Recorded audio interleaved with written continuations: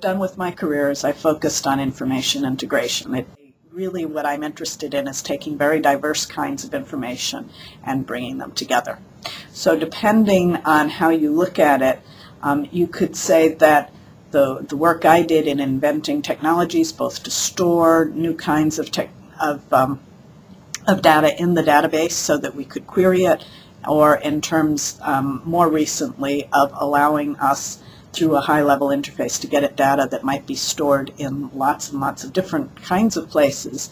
Um, all of that helped uh, IBM. Um, a lot of it fed into our product line. There's, there, but on a on a bigger front, what we what we did is we leveraged those small uh, technical advances to allow us to start a new business for IBM, and that helped actually really shape also the industry um, in that regard to make information management a, a, real term, right? So I mean, in fact, uh, you know, if you look back when I started doing this work, we were all about database management, and database management was what the industry talked about.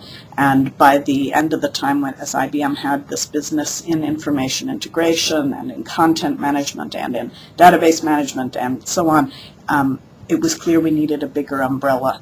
Uh, and so they've been kind enough to credit me with giving some of the push um, to do that. One thing that um, clearly happened is I was part of the team that helped put enterprise information integration on the map of the in terms of um, popularizing that term with analysts, helping them understand that this was a core problem for businesses and so on. So those would probably be key ways that um, the industry was impacted, this kind of a shift from very narrowly focused to much broader um, set of work around general kinds of information and then the focus on integration in particular.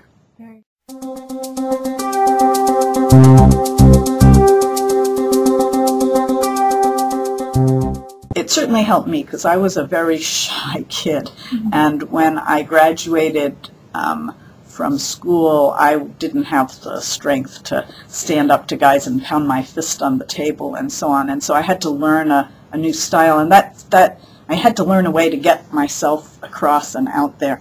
And being a woman gave me permission to learn a gentler way of communicating and still getting ideas across. It, it gave, it, it, I gave myself permission to ask questions, I guess, but it, but it, I think it came out of this, the female culture. We're allowed to ask questions. We don't have to be smarter than everybody in the room.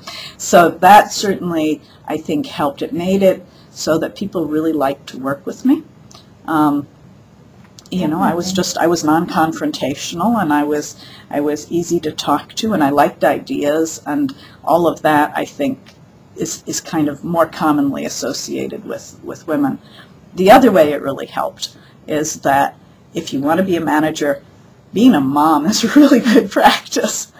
And vice versa. So to be honest, being a manager sometimes really helped me with my children. It helped to just kind of go, okay, pretend in your head, this is an, a recalcitrant employee. You cannot scream at them, can you? you are going to have to find another way to deal with this, right? Yes.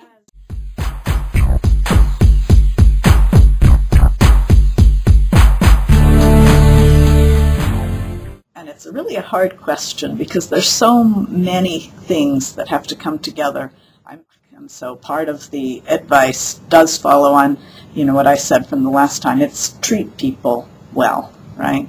Um, the one thing you must never, never do, especially in a big company uh, like IBM, is you must never make enemies, right? Because it's really a very small company. We, we think 400,000 people, oh my, eh, I can annoy this person, I'll never see them again. Not true. I may be managing you two years from now, right? On the positive side, I mean, I think the thing that I would like to tell people, the thing that I see from a lot of my mentees and, and so on in this generation that's coming in now is you have to have patience. Um, yes, some people get really lucky, supremely lucky, and hit it rich overnight. Um, they find that brilliant idea and they can ride it all the way through. Most of us don't. If you look at most of the successful people, most of us, you know, just kept plodding away and poking at something we thought was important and sometimes trying different things in different roles till we found that right place. And you've got to be patient. Uh, it doesn't mean don't have ambition. It doesn't mean don't do your best all the time. Mm-hmm. But if you're really, if you don't have patience, you're not going to be able to turn the ship. I mean, that's one of the things I tell people a lot. Yeah. IBM is great. It's a big ship. If you turn it, you can change the entire industry, and it is the coolest feeling.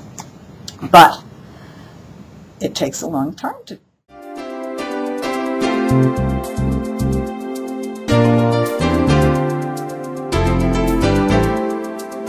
I mean, when I started my working career, what I knew was I did not like computers, and I really did like puzzles. I mean, I liked figuring things out. Um, uh, but what I learned, uh, you know, as kind of I grew into my role and, and started doing research in areas was that a lot of what computer science is really about is about abstractions and what they're now calling thinking computationally. Well, thinking computationally is a lot like doing puzzles. So to me, do you like figuring out the clever way of, of doing something, the clever algorithms? That, that's, that was fun, right? And the abstractions were just elegant. They were the thing I liked in math when I was in school, right? It was just really elegant and pretty and beautiful. Um, and so it was like taking two things I really did like and, and marrying them and looking through. So I did, I really did grow into it, but it was, it was kind of those two sides of me, one liking to do the puzzles and one liking elegance, um, that I think gave me strength. And as I realized those were at the core of computer science, that's, I think, where I started to develop sort of a passion for that. That, and, you know, I've always been a sort of visual person, so um, probably my whole interest in bringing together diverse information came from, you know, well, it's much more fun to deal with video clips and images than it is to deal with boring facts on the page and, and so on. Um, and, you know, so it, little pieces just start to add up. And after a while, as I said, you look back and you see, oh, so this is the common thread. Here's the thread of what it is that I do um, and that I really enjoy. Um, yeah, so I mean, I think what you have to do is have fun. Bottom line, right? You know, first and foremost, my parents. Um, my my mom was a PhD and a, and a professor as well as my father. Um, she actually uh, uh, won the right to work full time at her university in the same department as my father, so she had to fight nepotism laws to get to do that. So she was a great role model in terms of a professional woman who I knew had raised two perfectly fine children, of course, um, and uh, also someone who would stand up for for her rights, but she was beloved by the students and faculty, and uh, so she was she was a great role model. And my father, very different personality, uh, but you know, clearly I'm a lot of what I am today because my father thought I could do anything, and you know, he taught me to program when I was a wee little girl, and he employed me in his lab, and um, he was very proud of the way he taught um, and inspired uh, students. He uh, inspired generations and, and won teaching awards for teaching really hard subjects like statistics to mm-hmm. psychology majors who don't like math as a general rule. Um, and still he was an award-winning uh, teacher. So two very strong role models. So I